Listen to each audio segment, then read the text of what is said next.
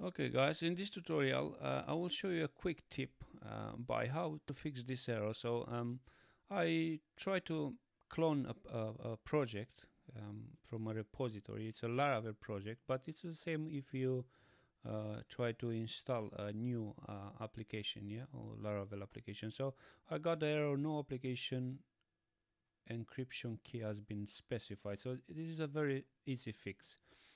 Um, um, first of all, um, if I uh, open the, the project in a editor, code editor, in my case is a Visual Studio Code, um, first of all, I will, will need to check the version of PHP. So you need to have the PHP 7 if you don't have it, um, and you need to change that. Just um, um, I will leave a link in, in, the description, and I will show you. I got a video showing how to do that in Windows 10 uh, using WAMP server. So after you do that, uh, the next step is uh, running the composer install.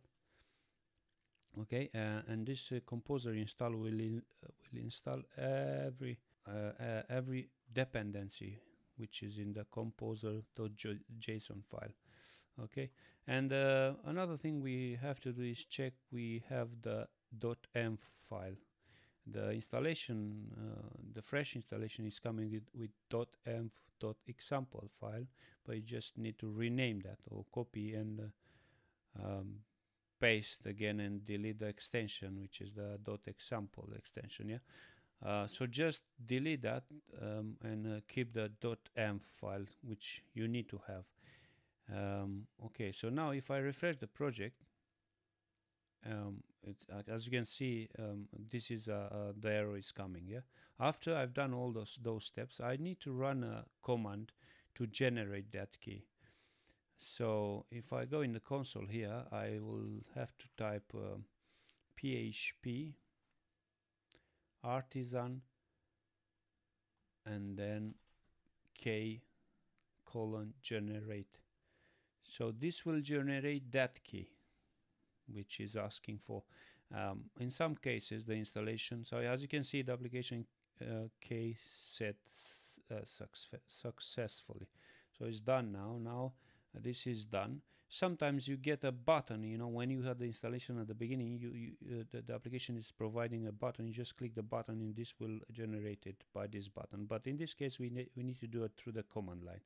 Okay, so now if we refresh the uh, project, uh, I got another error which uh, is came because I need to specify the database um, I'm using, which in this case I don't have any database for this project because I just clone it. So this is Laravel database, which is not this it doesn't exist.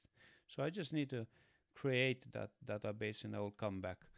Um, so now I have created a database and now I have to just copy that name of the database and paste it, paste it here. So this is the name of my database. You put your name uh, of your database uh, if you have to do that. But um, in my case, I need to do that. So now if I refresh the page, I, I will still get error because I need to run the, um, another command in the command shell, uh, which is uh, running the migration. So Laravel has the migration files which create the tables. Yeah, because this is a project as I, as I mentioned in the beginning. This is a project which is already created and is just cloned from a repository. So it need needs uh, extra tables. Okay, so uh, I just need to do uh, run that command to um, create those tables. So here, if I uh, run the command php artisan migrate this what this will do, uh, do is uh, run all the migration which are in this folder so let's run this command and um, once I'm running this command this will as I said this will create the tables which I need. So the tables are created now. If I go to the browser and refresh this um, open this database again. So as you can see now I got the tables.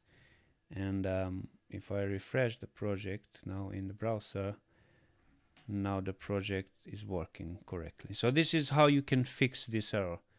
So I hope this helps you. If you got this error and um, see you in the next one. If you like this video please give a like and if you want to see more videos like this subscribe to our channel